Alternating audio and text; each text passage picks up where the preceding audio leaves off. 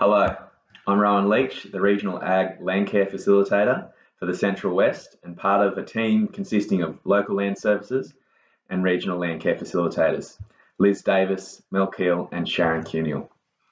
Welcome to our second session of Future Proof Your Business with Paul Ryan. I would like to begin by acknowledging the traditional owners and custodians of the land on which we all meet today, in particular the Wiradjuri people, where I am calling from. I would also like to pay my respects to elders past and present. Before we begin, uh, just run through some housekeeping. All sessions will be recorded and available online within 24 hours of each session. Again, can I please ask you to keep your camera off and your microphone muted. If you would like to change your view of the presenters, a button in the top right corner called Gallery or Speaker View will let you change who you are looking at. Any questions, please wait till the end and raise your hand using the icon on the toolbar or write your questions into the chat function and we will read them out at the conclusion of the webinar. Towards the end, we'll put up a survey link in the chat section. Please take a few minutes to provide your feedback on the session and be in the chance to win a book. We had a wonderful response to last week's survey and the winner randomly selected to receive Growing a Revolution by David Montgomery. The winner was Claudia Wise from Mudgee. So to be in, in the running for the next book, be sure to fill out the survey. I'm thrilled to invite our presenter for the series, Paul Ryan from the Australian Resilience Centre to begin session two. Thanks, Rowan. Um, and for those of you joining uh, for the first time to these sessions, welcome. Uh, my name's Paul Ryan. I'm from the Australian Resilience Centre. Uh, and for people coming back from the first session, uh, um, welcome back and thanks for joining us for this second session. What we're going to do today is to talk about um, a little bit about some of the foundational things that we covered in the first session. So we'll recap a couple of those things and then we're going to talk primarily about uh, ways to diagnose resilience problems. And we've got a couple of little tools that we use all the time in our work to help us to actually diagnose, to understand the problems that we're trying to work on and to make sure we're working at the right levels. So that's what we're going to do. I'll just share my screen and we'll go through uh, just a couple of um, key ideas that we, we covered last week. So the first thing is this idea of the farm business as a system.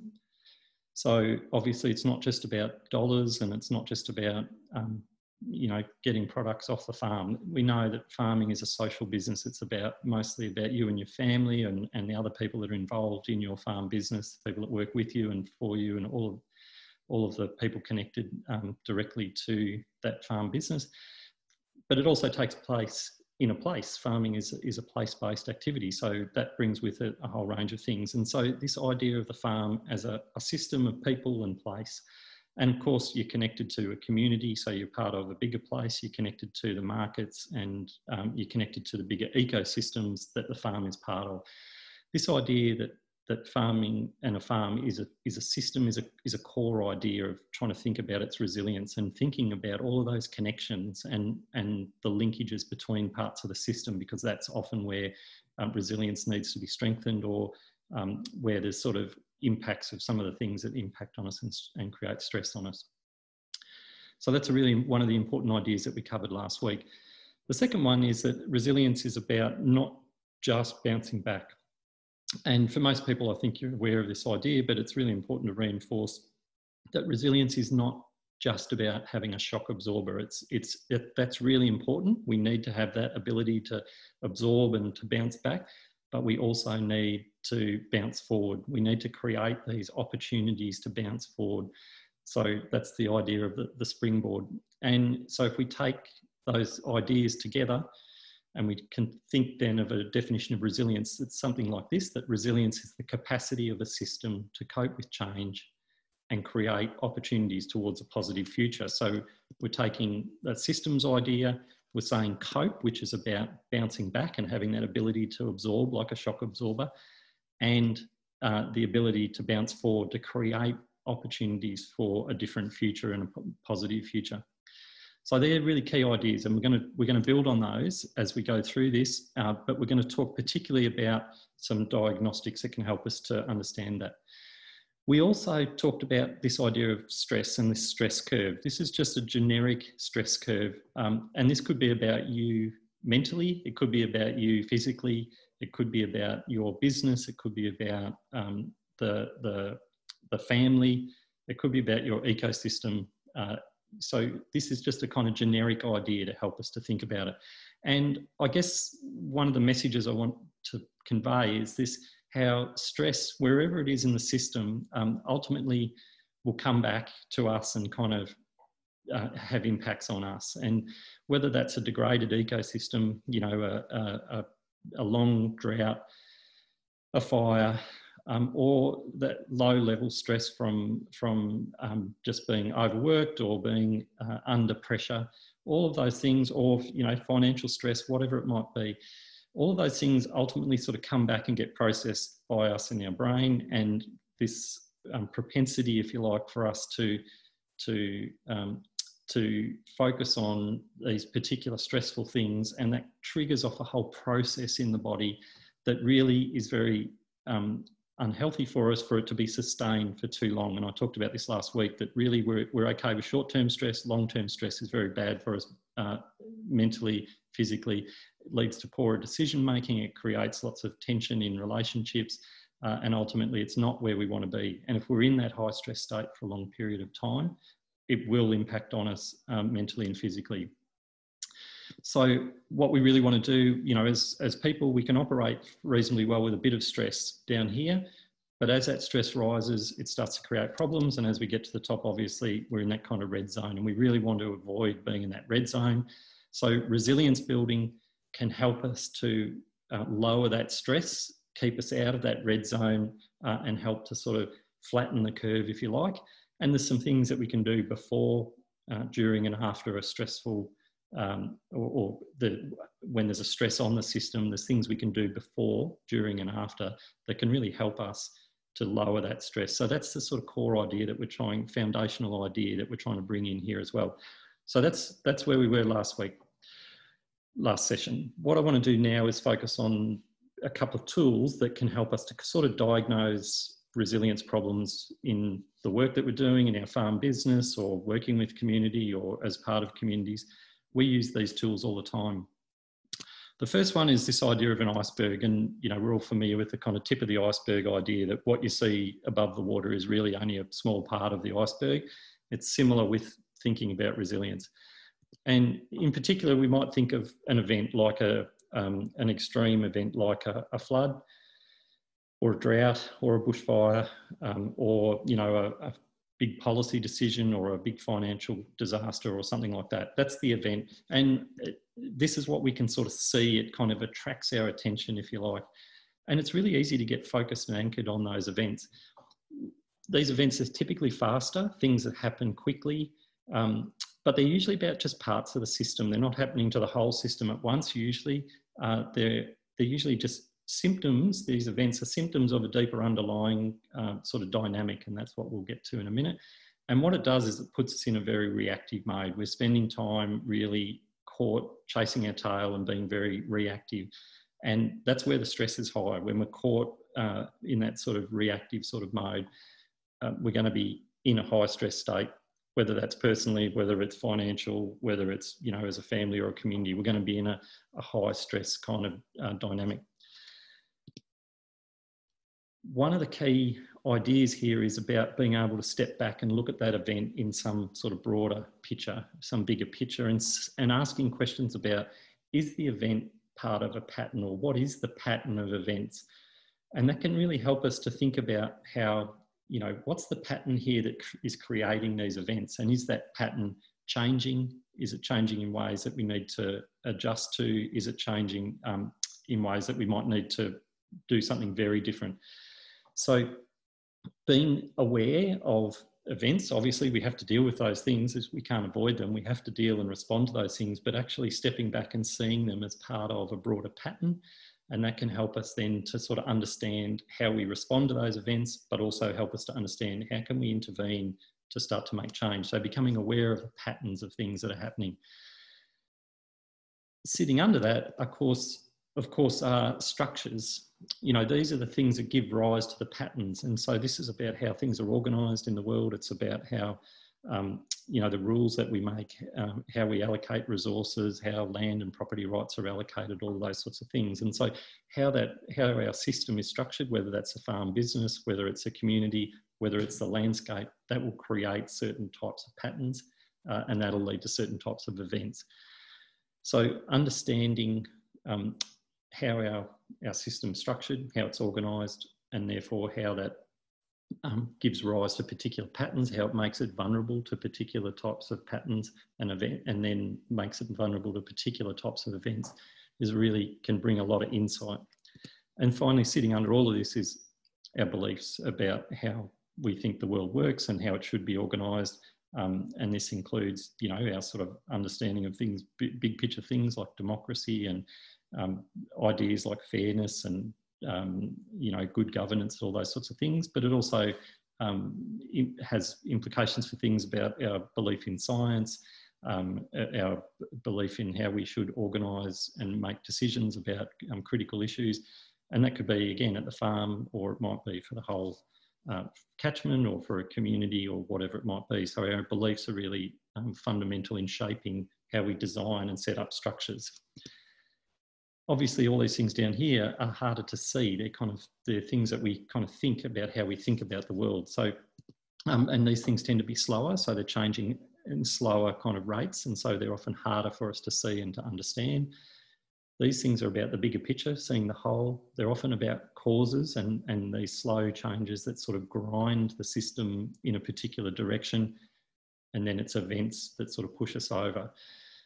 And so but really working down here is where we can start to be proactive, where we can start to make changes uh, that drive a different um, set of beliefs, or maybe we can, from our beliefs, we can change the structures, you know, the way our farm business is organised, or the way, um, you know, uh, um, the property is organised, physically structured, all of those sorts of things, or um, you know, how we, we set up to deal with some of the patterns that we're starting to see. And so what are those structures, structural changes that we need to see? So for example, we've been, you know, working with people in the wine industry. They very much uh, are, changing their beliefs about climate and the, the, way climate is going to influence their um, future in terms of wine production um, obviously and, and changing to meet market needs. They're changing business structures, but they're also changing physical structures about how they lay out the, um, the, the um, vineyards, the way they lay out vines, etc. And they're also changing structure to big scale too, where they're now, you know, a lot of companies are starting to invest in a diversity of, of um, climate uh, um, positions, if you like, around uh, around the country uh, to to reduce their exposure to climate events. So they've recognised, you know, the patterns are changing. Uh, they recognise that they need different structures in terms of uh, the way they organise their business in, re in relation to some of those sort of changes in patterns. So using this tool can help us to sort of think about what's the right level that we need to work at. Are we caught up here at the top just responding uh, and how do we get down to the sort of proactive level where we're kind of thinking about these deeper, slower changes about dealing with causes and being much more proactive. So we can ask a bunch of questions. And I'll send these questions out to people um, as a part of a little pro forma about this, but we can sort of ask key questions about what happened in relation to that event, how well did we cope, um, how well did we recover, how likely is it to happen again, uh, what needs to change to avoid it happening again, those sorts of questions. And we can sort of analyse, if you like, and review what happened with a particular event. But and that's important and really useful. Um, but it's really when we start to move down here and start talking about what's actually happening. Let's pull back, get this bigger picture view. What's happening here? What's the pattern? Is this a repeated thing? Are we ending up in the same situation as a business or as an individual again and again? And am I sort of, you know, recreating the same sort of pattern of behaviour and response to things? Um, and understanding what stresses you know, have high impacts or poor recovery. So, you know, how well do we recover from drought versus how well do we recover from, say, you know, big market price shift or something like that? And is there a pattern? Uh, is the pattern of those stresses changing? So, are they becoming more frequent, those events, or are they becoming more severe? Are they be getting more spaced out or whatever? And so it's pulling back and trying to see that bigger picture. And then thinking about structures, we can just ask what are the important structures here that shape the patterns? Is it because our property size is, is too small or sub-economic? Um, is it because of where we're situated in a, in a catchment in terms of you know, exposure to flood risk? Or is it because we're, um, you know, the way our business is structured or organised? So what are those structures that actually are influencing the patterns that mean, you know, we're susceptible to particular types of events? And what are some of the structures that need to change to avoid those stress, stresses or improve our coping or capacity or our speed of recovery? What can we actually do? What are some of the deeper things that we can do? Is there some business structural change, restructuring? Is there some reorganisation that might help, um, you know, physical reorganisation of the place or financial or social reorganisation that might help? And then finally, you know, all of this is, is, as I said, based on beliefs, and we really um, need to ask ourselves and people around us um, what, what are the big assumptions that we're making here? Um, how, how do we believe the, the system works? How do we believe it should work? How is it working? And does our, do our observations sort of fit with what we believe? What are our biases? So what are the things that um, are inbuilt and bias, biases in us that might be influencing the way we're seeing things and making decisions and therefore creating structures that give rise to these different patterns. What evidence are we using? So what are, the, what are we basing our beliefs on? So are we basing it on, you know, facts uh, or are we basing it on just assumptions? And it's easy, you know, for all of us to kind of um, flip and slip between those. And then finally about, you know, who has power to make change here? So often people sort of look to outside about change instead of actually saying, you know, it's it's internal. Oh, I'm the one that's got to make the change, or or we're the ones that have got to make the change, and not expecting someone from outside to help make those changes. So we use this tool all the time, and we have you know discussions with people and groups about this all the time about where where are we working here in the iceberg, and are we being caught above the water here, just the tip of the iceberg, where we're really focused on events instead of stepping back and asking these deeper questions. So obviously, you know, I talked about the stress curve last week. If we're just dealing with events here, we're going to be subject to a lot of stress at the tip of the iceberg. Um, this is, you know, we said those stressful events are part of a pattern. So this can help us to think about that pattern and what's the what's the nature of those different events and how do they relate to each other. And then finally, what's this deeper system that we're, you know, this is particularly about how we think and organise and how it, um, we, work, we work at this deeper level and of course these influence each other. Our system you know gives rise to different types of stresses. If we're in you know live on a floodplain we're more likely to get flooded if we than if we're living on um, you know not on a floodplain. So our system our place matters. It exposes us to particular you know it has a structure that exposes us to particular patterns uh, and events and vice versa. So and also um, thinking about this idea that at the tip of this iceberg um, really, if we're up here, we're often caught in just having to absorb and respond, absorb and respond in this kind of coping mode. And as I mentioned earlier, that stress is, is um, not something that we can sustain for a long period if we're just constantly in this sort of event and cope, you know, um, and absorb and, and bounce back. We can't sustain that for very long as, as, as individuals or as families or as businesses. Eventually, your capacity is going to get um, exceeded, you're going to get worn down, something's going to give in the system. Down here um, is where the opportunities are for change. So, you know, it's looking at your system and seeing where are the opportunities. Is there a new market? Is there a way we can diversify? Is there a way we can, um, you know, some innovation that we can bring in, etc. So that's very much about how we think about the system. It's about what can we put in place to create new opportunities that'll create those new structures that'll create new patterns that'll lead to different events. We're never going to get rid of events, but there'll be a different set of events and different types of events that we'll have to deal with in the future. These, this idea of working, you know, about coping and, and working around opportunities, creating opportunities, if you like, are sort of at the operational level, they're kind of at the action level. It still needs to be embedded in a broader resilience strategy. And um, so we use these terms on the left here, the persist, adapt and transform as the sort of overarching strategy, if you like. So um, at the tip of the iceberg there where you're just responding to events, you're really in that doing a lot of things that are about coping. So that might be just, um, you know, sometimes borrowing more money or, um, you know, at the personal level, it might be a coping thing might be to, um, you know, try to do things, you know, hobbies or something like that that helps us relax. But that's really not changing the underlying kind of problems. And so we're going to get caught at the top of that iceberg a lot just to coping. And so there is times when we want to persist. We know that you have to persist. You've got to stick it out through things, but you can't do it long term. It's not that alone is not a resilience strategy. You need these other strategies in your kit bag, these higher level strategies of thinking about adapting to move away from particular things, you know, um, and to create new patterns. And you need to think about the ability to transform, which is to do things very differently. So you might, you know, move away fundamentally from um, one type of production system to another one. You might, um, you know, get rid of um, horticultural plantings and go into cropping or whatever it might be. That's a real transformation in the business.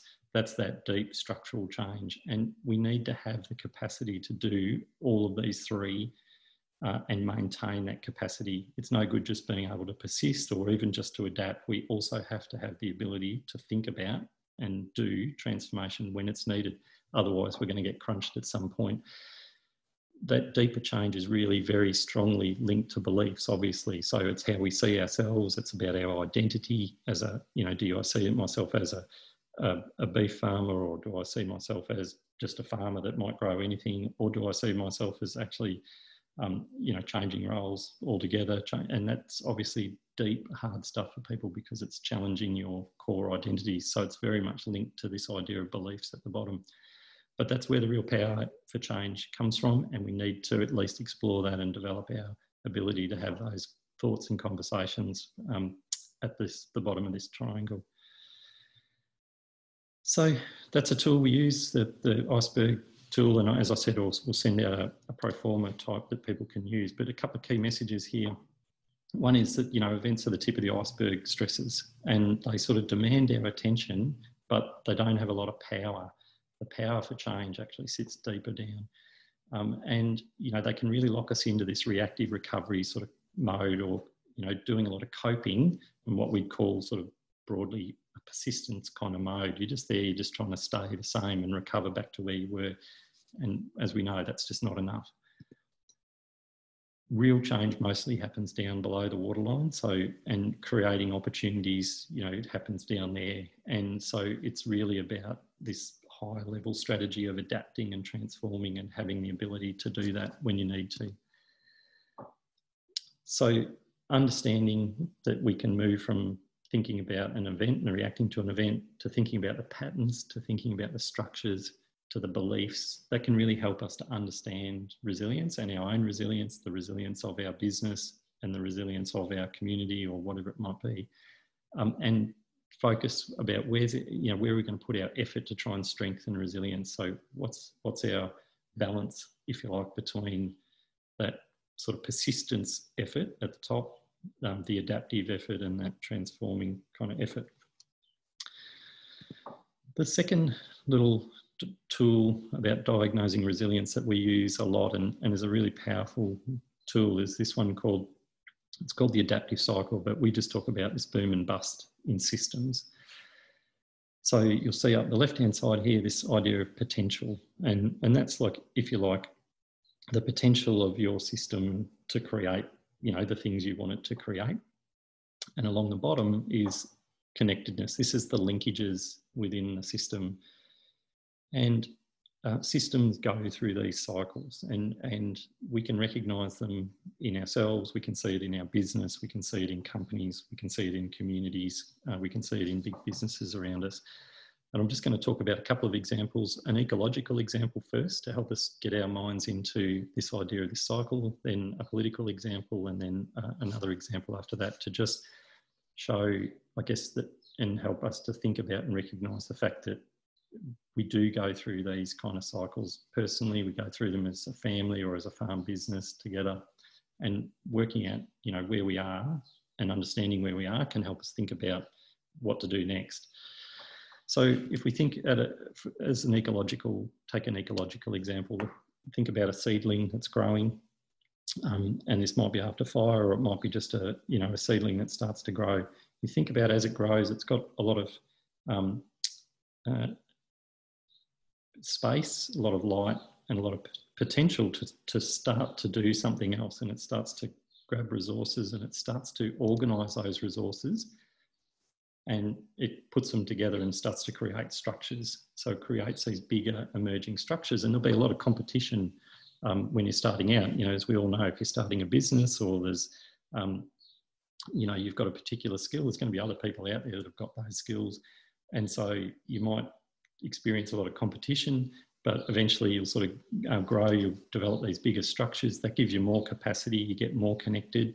You've got more potential gives you more ability to grab you know resources and put them together bring them um, together and use them in your business and eventually you'll get to this sort of maturity phase or conservation phase we call it sometimes where the strategy goes from a kind of growth mindset to a, a more conservative mindset where you're really about keeping the system the same you're about holding the system because you've done all the work to get it there you've got it to something big uh, and you've got it producing the things you want it to produce we often then focus on trying to keep it like that.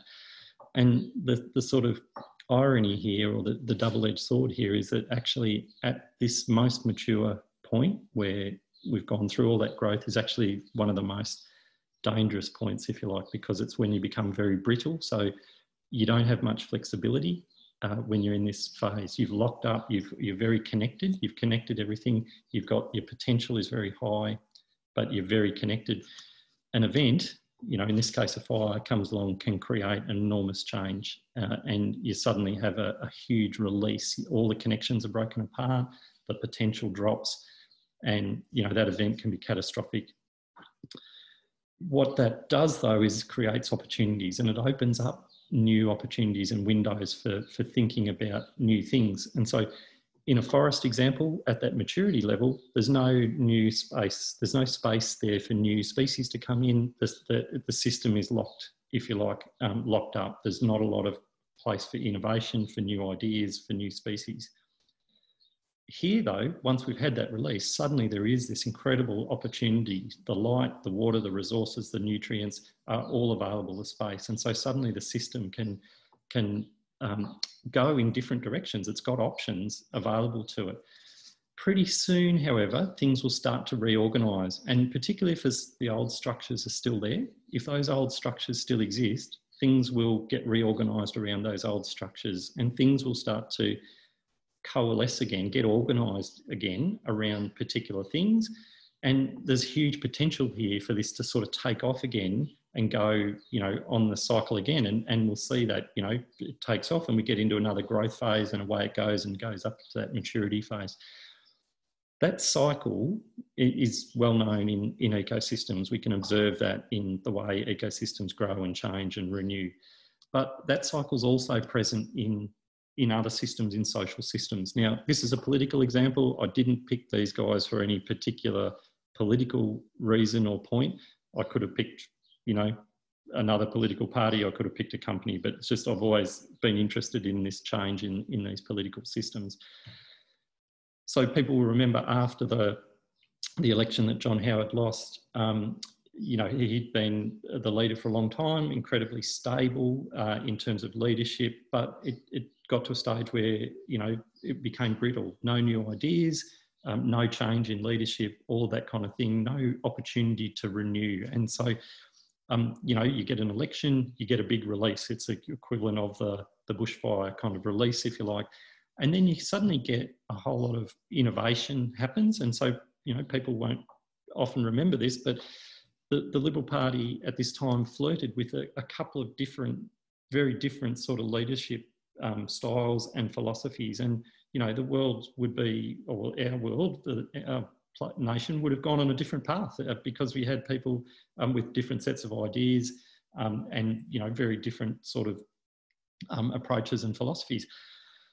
Of course, though, as I said, if the structures still exist, if those you know some of those previous structures are still there that will reorganize and so that's when we saw you know leadership change and and you get some new leadership coming in um, but that reorganisation wasn't sort of complete, if you like, and, and it wasn't bedded back down to go through another growth phase. We get another leadership change, um, and you know ultimately we get another leadership change because the, the, the system hasn't really reorganised. And you know we could argue about where they, where they are now, the, the Liberal Party at the moment in terms of leadership, and maybe they're in a big growth phase heading to maturity. Maybe they're still down in this um, uh, you know corner, but uh, the point is, um, organisations, families, farm businesses, companies go through cycles of change.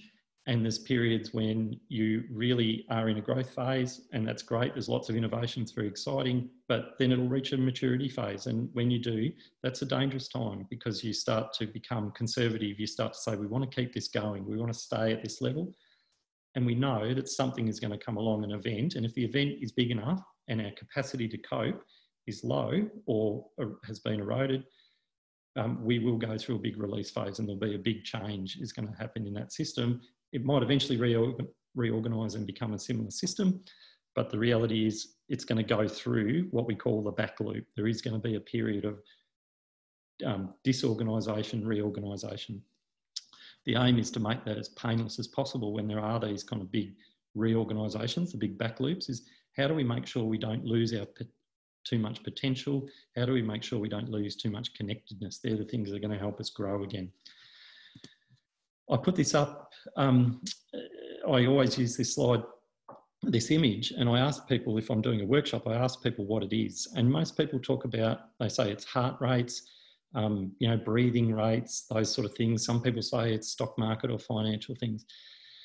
It's actually the final ladder position of the Essendon Football Club. And I'm not an Essendon Bombers fan by any means, but it's just an interesting, um, I just grabbed this data and, and plotted it out. This is the final ladder position at the end of the season for the Essendon Football Club going back to the 18, uh, 1980s, sorry, the 1890s when uh, the football club first came into existence. So this is mapped it over the years up until 2006 or seven, I think it is at the end. Now, this pattern is boom and bust.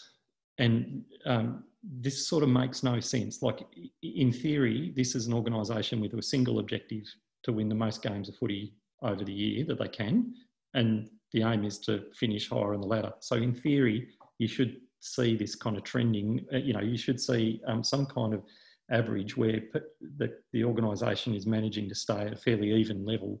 It'll bounce up and down a bit in theory, but they should be, given they're aiming to, to win and the most games they can every year, that they should be staying, you know, sort of somewhere towards the top of this.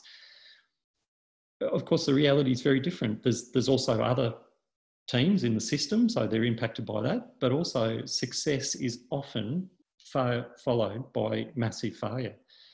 And that, you know, that it's hard to understand that pattern that how can it be that a team is complete, you know, successful one year and the next year can have the worst year on record just about. And if you look at some of these bouncing up and down, it really is. It goes from, you know, number one to, to last on the ladder just the following year. And so there's some interesting underlying dynamics here. It's not, it's not a simple kind of um, dynamic, but it, but the message is you can't hold something constant. Even for something like this with a single objective, uh, you, cannot hold it at one position and one level over time. Systems bounce up and down, and particularly when they're interacting with other parts of the system, like you know a footy club is, it will bounce up and down. Knowing that, that can help us prepare and think about the future. So if we go back to our ideas here, obviously having coping capacity really helps here. If we can absorb one of those events, we might not you know, go through that big collapse, the big release phase. So having capacity here to cope and to cushion that blow, and even if we do go through that big release phase, having the capacity to, to um, absorb that impact and to reorganize will help get us back on the pathway. But of course, you know, if we were looking to change, this is the opportunity, this is where the opportunities are. There's opportunities here in this kind of collapse and the reorganisation phase to go in new directions. So think about post drought uh, in a farm business. It might be the window of opportunity now to say, okay, how are we going to reorganise this business? How are we going to reorganise the farm layout? How are we going to organise, you know, ourselves as a family or as a business to make sure that when we go through this loop again, uh, we're not just repeating the same pattern, that we're actually going to go through uh, and do something different so that we're going to end up in a different place, uh, not just coming back uh, around this loop again and again. Uh, and of course, you know, opportunities for growth is that's where we get a big bang for our buck if we can come up with opportunities that create this new kind of growth phase. Uh, but good managers understand when they're reaching that maturity phase and they look for opportunities to avoid and, and sometimes deliberately give themselves a little release to go, you know, not through a big deep back loop, but through just a smaller kind of release that'll help them flip back onto that growth phase and go back up without going through a really big deep collapse and a reorganization. That's, that's you know, um, good management can do that. And we see it sometimes in companies, we see it sometimes in organizations that make decisions to get you know big changes, get rid of a bunch of um, you know leaders from the from the previous growth phase and and bring in some new ones, etc. So it does happen. There's good examples of that in the in the real world around us.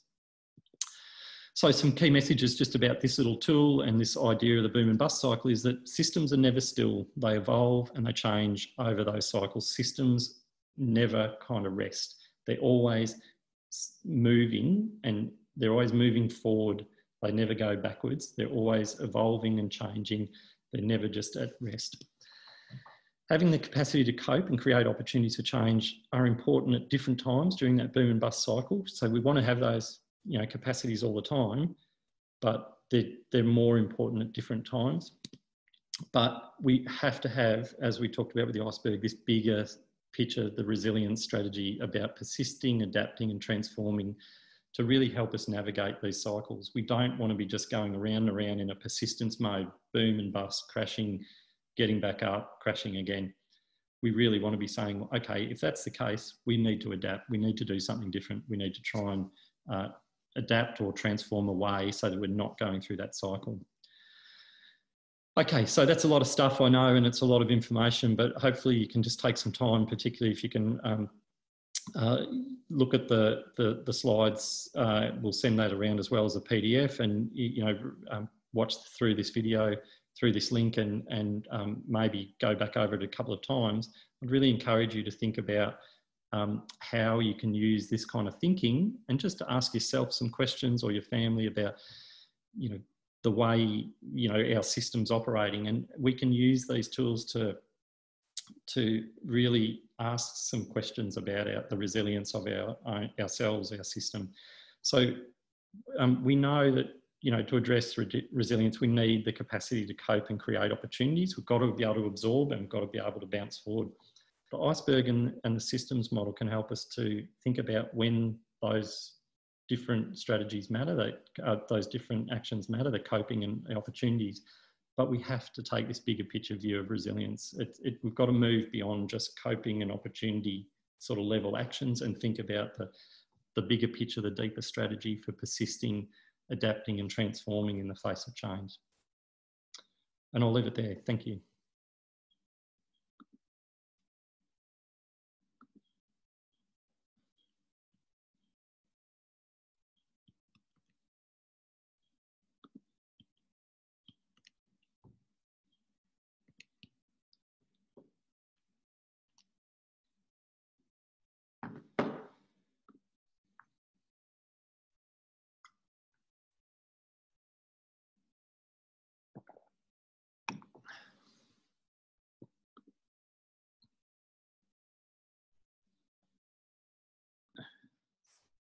So I just want to deal with a couple of questions that came in uh, during the, the first presentation. The, the or, or, comments. Well, the first comment was really around um, someone uh, from Terry about um, the cycle that Landcare goes through and, and particularly dri driven by the funding structures. And, and I totally agree, Terry, that the essentially the structure, the way it's set up, short-term government funding, you know, three-year political cycles, three-year projects, means that Landcare can ever really only be caught um, at the top of the loop, at the top of the iceberg, and, and going through that that loop. And we've seen that with groups. We can also think about the the cycle of change, the boom and bust cycle for Landcare groups as well. So, you know, with stable funding and a stable, you know, having a coordinator and all those things, we see Landcare, you know, grow and mature. Um, but then, uh, you know, funding changes, the key coordinator leaves, some key people leave, and the, and the, the group will go through a, a big back loop. So I can see in Landcare, you know, evidence of both of these kind of tools. Um, it, is it deliberate? I'll, I'll, leave it up to, to you to um, to decide. But what I do know is it probably reflects a, a lack of understanding of, of the way, you know, communities, uh, organisations, groups, people work, and and um, and we really need to think. You know, if we want to have Landcare operating in the long term, then we need to really think about how we we change the structure. It won't change unless we change that structure because that the structure creates that pattern. That pattern creates those events that you mentioned, Terry, and you know all of that is is underpinned by our beliefs of, of how we think the world should work. And at the moment, you know, um, we uh, as a society think that um, three-year funding cycles is is the way to go, um, and that's probably largely driven by sort of government accountability type um, issues rather than the um, the real needs of of groups on the ground. So I, I couldn't agree more. Um, the second comment was around people sort of experiencing, you know, almost post-traumatic stress, if you like, um, down the track from an event. And, and someone's just mentioned a, a person, you know, nine months after a bushfire, sort of going through that collapse. And you know, to be honest, I'm not really sure because um, there's no doubt we have these kind of patterns of thinking um, and the sort of cycles of thinking in our mind, if you like. They've gone through a big event, um, so they've, they've experienced that kind of big crash, if you like.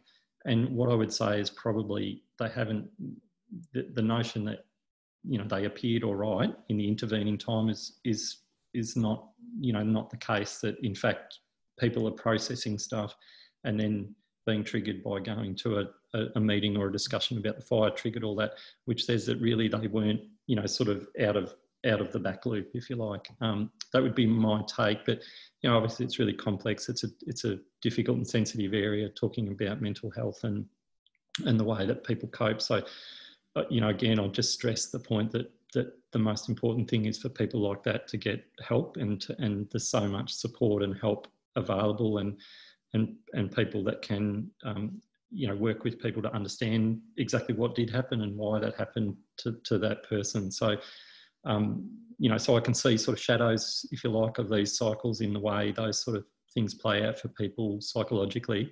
But i also wouldn't want to over kind of prescribe you know these cycles or the or the iceberg for that matter. They're just tools they're thinking tools they're heuristics we call them to to help us to explore and to think about things. So I wouldn't want to try to too tightly, you know, um, prescribe that this kind of cycle or pattern to one particular event for an individual. But um, yeah, but it's very it's very interesting, and and I think seeing the way those events play out for people, it's different for everyone, and and that's one of the key messages I think we all have to learn is that people deal with these things in very different ways and in over different time frames, etc. And we just need to be very aware of that and very sensitive to that. So thanks for those questions. Thank you, Paul. That was excellent. And thanks for your answers to those questions from the audience. On behalf of the team, I would like to thank everyone for attending and do not forget to provide your feedback and to register for the next webinar. Next week's book prize will be Alan Parker's The Negotiator's Toolkit. So to go in the running, please fill out the survey. The information it provides us is so important for us to run future events. We will send a follow-up email with all the relevant links and resources. See you for the third session on the 15th of October at the same time, 12 p.m. Bye.